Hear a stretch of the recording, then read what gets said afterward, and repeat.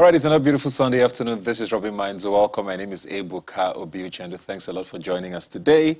Um, we're going to be kicking off the show talking about education. Um, it's something that I think uh, if you're a constant viewer of Rubbin' Minds, you know how very passionate we are about this uh, particular sector of our nation because uh, with, there's no gainsaying the fact that it's at the root of a lot of the issues we have in Nigeria today and it's not looking very pretty for uh, a lot of the statistics we see with out-of-school children, girl child education, uh, just sort of the quality of education we even tend to see these days, even at the tertiary level. So it's, uh, I think it's, it calls for very, very serious concerns, uh, and we uh, are not sure where Nigeria is officially with regards to the government and uh, its position in a lot of these issues. Politics is fast approaching. We have a presidential election coming up uh, in, at the early months, I believe, of 2023. And you know, once elections are around the corner, the year before that is filled with politics. So how much is this going to affect education? Um, this is also very important because on Tuesday, the 5th of October, was World Teachers' Day. And um, I don't know that we saw a lot of things happening in this part of the world. Uh, but I'm going to be speaking with people who probably know better than I do on these issues. Folawe Omikunle is here with me. Thanks for coming. Thank you so much for having me. Yes. What was different about this year's World Teachers' Day, if anything? And how, of what significance uh, is it, especially with Nigeria and, you know, where we are today with education? Mm -hmm. So when you think about the theme, you know, for this year's World Teachers' Day, um, it says the teachers at the heart of, of recovery.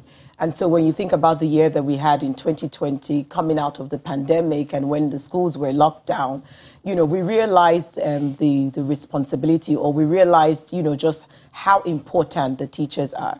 You know, we saw that countries that continue to function or education systems that continue to function, you know, it, a lot of it was because the teachers were able to continue to, you know, carry out remote teaching and learning. They were able to continue to engage their students. They were able to engage their students not only in the academic but social emotional um, skills and learning as well. So when you think of recovery, right? I think it's that we came out of there. If we didn't recognize before that the teacher's role was irreplaceable and super important, I think that period showed that to us. And so, with the theme for this year, it's recognizing and saying to everyone, guys, we really need to be investing our resources in teachers. We need to be supporting them to deliver on the learning goals that you know we've set for ourselves as a country and as you know as a whole, as a world. You know, so I, I think that conversation needed to happen. Yeah. But then to your point, you know, how many? So you know, I saw the, you know the federal government, for example, announced on the Teacher Day that um, we're going to ha start having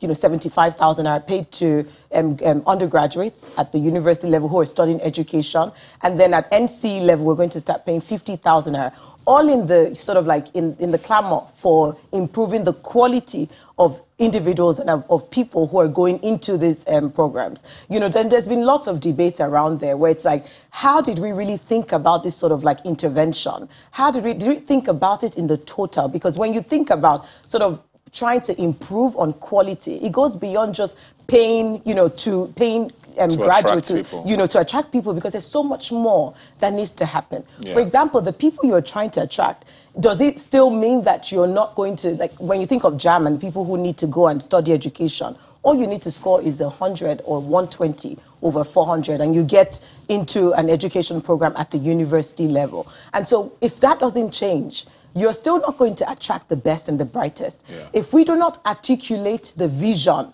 of education for Nigeria, what is the purpose of this education? What, what, how does it, how is it relevant to us? What do we want to see at the end of 10, 20 years? What is our plan? And we haven't done that as well. So we don't really have a vision that attracts people to join the teaching force. We also don't have a system in place that'll actually recruit, attract those individuals, retain them, train them properly. And so, you know, all of that needs to be looked into. And I think this is one of the things that I always say, like there's not there's not one single solution. And I think we keep throwing interventions into this. And that's why we keep coming back to the same conversation because we need to tackle this from like different angles. But to my point again you know the theme for this year I think it's shown to us how important teachers are. We really need to invest in our teachers. I think with that, we would see some returns if we're attracting the right teachers, if we're supporting them, if we're motivating them, if we're really training them and investing in their, you know, ongoing training and even pre-service training before they go into the schools. And I think that really is what this World's Teacher Day, you know, sort of revealed to us. I like the fact that you talked about training there a lot because I mean, we if you have any idea what the private sector looks like, it's one thing that you know employers of labor are very particular about. Even if you had a first class in whatever it is you studied, after some time you need to go for retraining because the world keeps changing. We don't seem to have that a lot, especially in public schools here. So besides the 75,000 or 50,000 mm. we're getting for people to get into the, the, the, the, profession, are we doing enough of that? Because we've seen some, some states where, you know, governors made teachers write primary four mm. exams and mm. the pass rate was like 20% yes. or 30% yes. or something as ridiculous yes. as that. Yes. Is there training happening? Do you see any sort of move from government to even introduce that? People are also asking, is this the time for government to hands off education and hand over these public schools, you know, to people who can run education? But how does that work? Because you also need public schools to be free to an extent, or at least affordable. Is there any light at so the end I've of all been privileged, eh, you know, enough to be to, to, to be part of gatherings and spaces where I've engaged with public teachers. And it's very heartbreaking when you hear some public teachers say to you, public school teachers say to you, I've been in this profession for 17 years and I've never had anything like a refresher training. You know, you'd even hear head teachers say, I've been working in the school system for 20 plus years, but I've never had a training that has helped to transition me from a teacher to becoming a head teacher. And so, in terms of training, like in service training that we're providing to our teachers, it's not strategic. We don't have enough. It's not reflective of the kind of skills that we want to develop in our students. We're saying that, you know, I mean, you hear, you know, employers of labor talk about Nigerian graduates being unemployable. So it's not that we don't have the pool. It's not that we don't have the human resource, but they're saying that the skills that they require you know, these guys have gone through the school system, they've gone through the university, and they still do not have the skills, you know, that allow for them to employ them. But it's also because we haven't trained the teachers differently. So you want um, graduates who can think critically. You want graduates who can problem solve, or students who, you know, citizens who can problem solve, who can innovate, who can communicate. It's like all of those basic skills, they do not have it. Now, if we're not training our teachers to teach you know, so that those certain skills are developed. So that, you know, for example, a teacher teaches math. We're not asking that you go there and teach formulas, but how do you teach your students to think mathematically, right? And those are the things, but we, we you know, we're still very teacher centric and teacher yeah. focused. We're not thinking about how to sort of like foster all of this. So if we're not training those teachers in that way, there's no way that we're going to get that result, you know, at the end of the day. So we haven't scratched the surface. A lot of um, individuals, a lot of, um, you know, private individuals, social innovators and entrepreneurs are doing some really interesting things. And the examples that I've seen where they're providing, you know, in-service training. And I, I, I must say that, you know, it's very impressive to see that even public school teachers are taking ownership of their own learning during times yeah. like this. And they're also like just going to, you know, engage with those trainings, whether they're being sent by, you know, the government or not. But I think that, you know, for us to train in mass, I think that government needs to look critically as to and how we're training, yeah, and be more deliberate, deliberate about you know, about well, we're, it. We're joined in line right now by uh, Kola Tubosun, uh, who's a writer and a linguist and an educator. Thanks a lot, Kola, for joining us. Uh, we did hear from the Minister of Education um, saying that um, out-of-school uh, numbers for children has dropped from 10.1 million in 2019 to 6.95 million in 2020. A little curious for a lot of people, considering the fact that 2020 was the one year where school almost was not in session anywhere in the country or around the world even. Um, also, when you see all the, you know, we see the reality around us. The number of people we see on the streets begging uh, seems to be quadrupling by the day. But that's besides the point. What are your thoughts on that, first of all? And secondly, um, are the numbers of uh, people in school more important than the quality that we should be getting? Um, thank you for having me, Ebuka. Um, of course, the quality is the most uh, important. You want to make sure that people who go to school have access to the best quality education, um, that they're, they're, taught by the best trained teachers. Um, but also, you want your citizens to be well educated. Um, a well educated uh, citizenry is a more informed one. Um, so, and we have a lot of people who don't have money to pay for, like you said, uh, many of the uh, expensive or public uh, private schools we have around.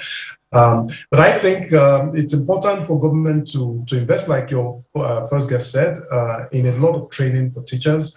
Um, but there's also another angle that I've mentioned in the past that um, seem to be easily dismissed, uh, I think because of the way our educational system has been structured. And that's the matter of language. Um, most, um, you know, uh, our educational system is centered around British style, and you know we, we insist that the, the students learn through a certain uh, uh, uh, way. But education is not just about the language in which you teach them. Education is about imparting knowledge and helping students be able to to to solve solve real life problems. So I think um, maybe it's a it's a thing that can be solved by devolving the the, uh, the, the, the the system of education to like state and local government.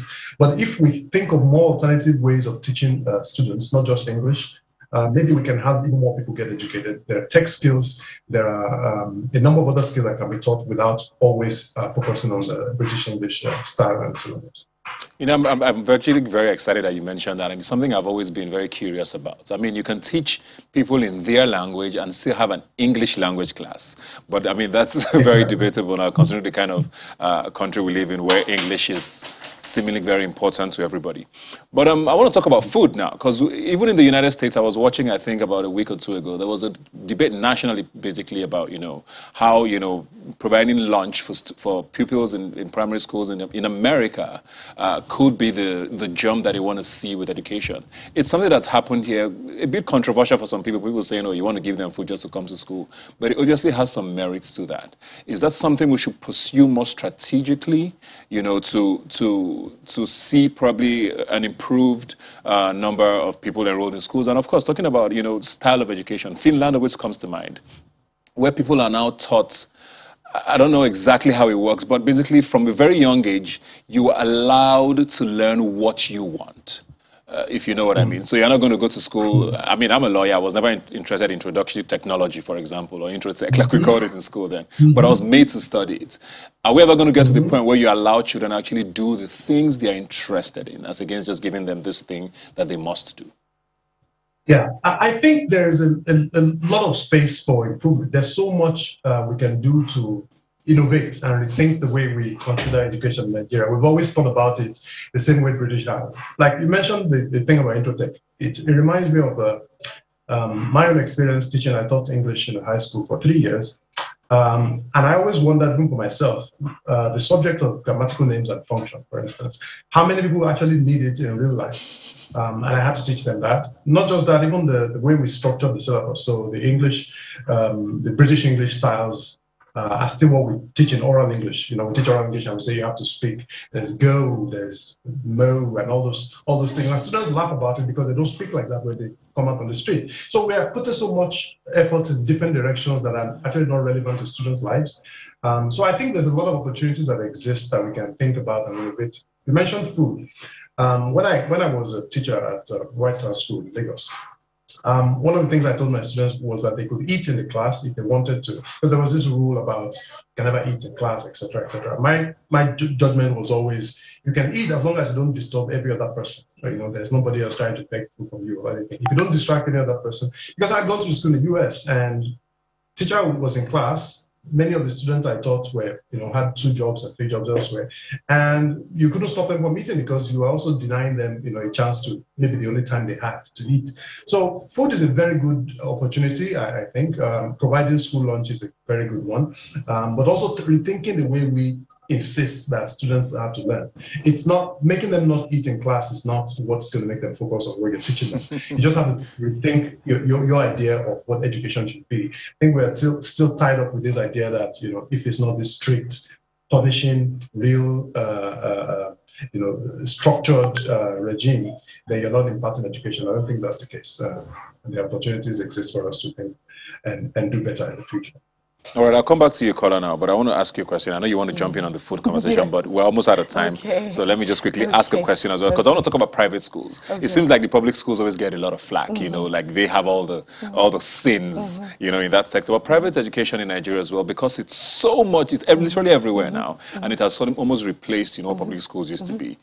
There's almost a fear that there's not enough regulation mm. of what happens there. You know, we've had cases of people graduating in flying colors, mm -hmm. but mm-hmm. going to university and can't seem to pass a course mm -hmm. because schools give you this grade so that mm -hmm. they seem more attractive. Mm-hmm. You know, there's all of these stories we mm-hmm. hear about private schooling.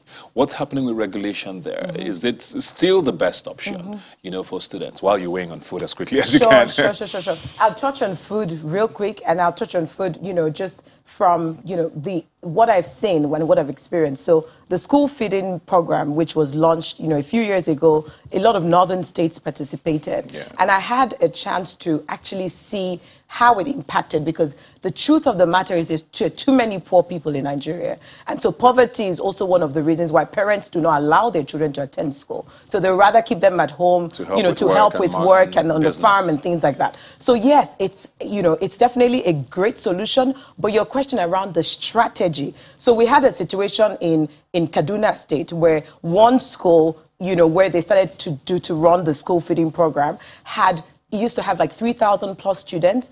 And once they introduced the meal program, the population jumped, jumped on, onto almost over 30,000.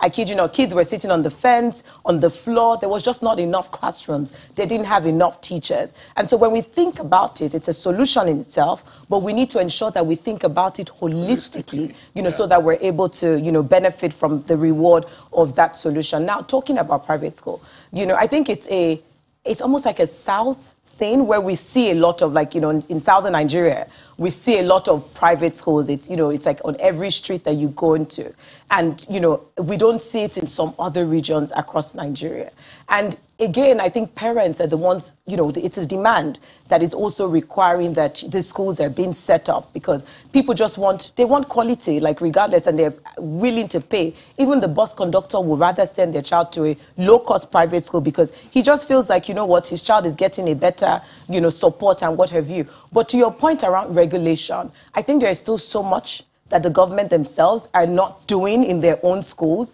that sometimes it might be difficult to really fully regulate the schools. Yeah. So there are lots of schools that are not registered. There are schools that are running. And if we were not able to properly capture data, and this is where data also comes in, how do we get them to register? How do we identify the schools? And also, I mean, if we're fair, these schools are also helping the government because if they didn't exist, you know, all of this, you know, what would be happening in the public schools? You know, yeah, we true. say there are not enough classrooms and all of that, but is there a way whereby we can find how to regulate them? We can find how to ensure there is a minimum level, a standard, you know, that all schools are adhering to. We have monitoring systems in place. We're investing in them as well and supporting them and not saying, oh, because it's, it's a private school and they're private businesses, it's not yeah. our business as well. So I think it's important that it's looked at in that way, you know, but um, I don't know that we fully, like the capacity within government to really look at it in that way and then provide solutions and support to all of these schools that also exist. Kola, um, just a final word from you, Kola. Um, we have a government that came into power, and you know they basically said there were three major areas they were going to be looking at: the economy, security, and you know, um, I think the economy. I can't remember now, but education didn't feature basically. And, um, you know, you look at this government, we have about a year plus uh, to go with his administration. How would you, uh, are you optimistic that the coming months might uh, show some more interest in the sector? no, it's, it's hard for me to be optimistic about this particular government uh, relating to education, unfortunately. But it's not just this government. Um, we have kind of a blind side to Nigeria about education. And like we've been talking about since the beginning, there's a lot of rethinking that needs to happen. Um, and it needs to happen, you know, way from the top. And much of it, some of it have to, you know, actually be taken away from the federal government totally. Because education in some places is a local issue, it's a local government issue. Yep. But of course, we know how local governments are in Nigeria as well. So, um, I, yeah, not dependent on the federal government, but of course, there's still some parts of them. There's still a lot of a lot of work for them to do as well. Optimistic? So my own optimism comes from young Nigerians like Kola, myself, and lots of people that I just see every day who are doing work in their own way, you know, social entrepreneurs who are coming up with all sorts of innovations, you know, Uh, different ideas to really support the education system. I get my optimism from there. The government in itself and just what they should be delivering on when I think about 2030 goals, which is just around the corner nine years from now. And if we were on track to really attaining sustainable, equitable, universal education for all, you know, we're definitely not, not on track. Right. You know, there's no vision, there's no, you know, there's no plan. There's no plan. There's no vision that everybody can key into saying, this is where we're going for education in Nigeria. Right. So that doesn't give me much hope. But then the young Nigerians who are doing incredible work, it's you know, always, within the system gives it's me always the young hope. Nigerians that seem to be doing yes. all the work everywhere. Thank you very much for that. Thank you very much, Kola, for joining us. Uh, we're going to take a break now and come back. Please don't go away.